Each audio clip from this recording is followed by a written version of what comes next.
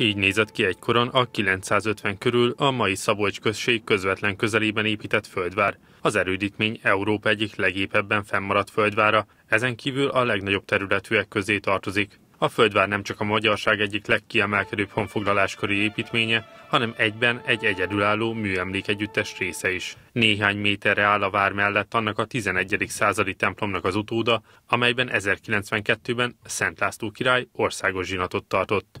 Most a Földvár, az Árpádkori monostor, valamint az ugyancsak Szabolcs községben található Mudrány kúria bekerült a Szabolcs-Szatmár Bereg megyei értéktárba. Azt hiszem, hogy a laikus szemlélő, hogyha azt megnézi az értéklistát, vagy megnézte korábban, akkor gondolom, hogy felmerültet benne a kérdés, hogy olyan valóban ikonikus történelmi emlékhely, mint a Szabolcsi földvár, vajon miért nincsen benne. Ennek egyszerű az oka, ugye javaslatok alapján dolgozik a szabolcs Bereg megyei értéktárbizottság. Természetesen a saját lehetőségeink szerint azért igyekszünk felhívni a figyelmet arra, hogy ha esetleg úgy érezzük, hogy valami hiányzik, akkor azt készítsék el. És ez a három érték ez még hiányzott. És nagyon örülünk annak, hogy most a képviselőtestülete eh, benyújtotta, Szabolcs község képviselőtestülete benyújtotta ezeket az értékjavaslatokat, így az Árpádkori monostor, ugye ami ma református templom, aztán a Szabolcsi földvár és a Mudrány kúria végre tagja lehet annak az értéklajstromnak, amelyet mi Szabolcs-Szatmár Beleg megyei értéktárnak hívunk.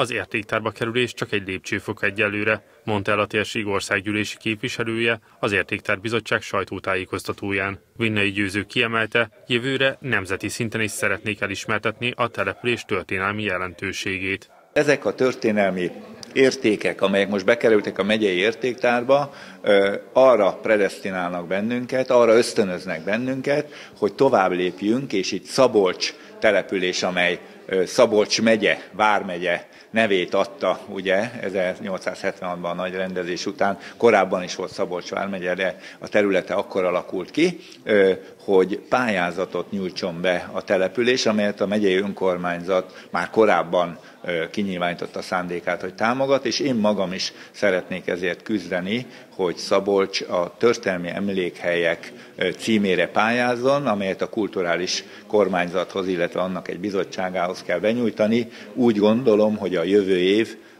ennek a pályázatnak a benyújtása jegyében fog eltelni. A településen a történelmi emlékekhez kapcsolódva jelentős turisztikai beruházások is indulnak hamarosan. Van egy földvár turisztikai projektünk, amely több száz milliós. Ez azt jelenti, hogy van egy Tomori Kúria nevű épületünk a Földvár lábainál. Ezt szeretnénk ebből átépíteni, amely egy fogadóteret foglalna magába, ahol az érkező vendégeket tudjuk köszönteni, illetve egy rövid filmmel ráhangolni őket a látványosságokra. Ezt követően pedig egy bemutató térbe nem csak a Szabolcsi földvár, hanem az európai földvárak történetével foglalkozó tematikus kiállítást lehet megtekinteni.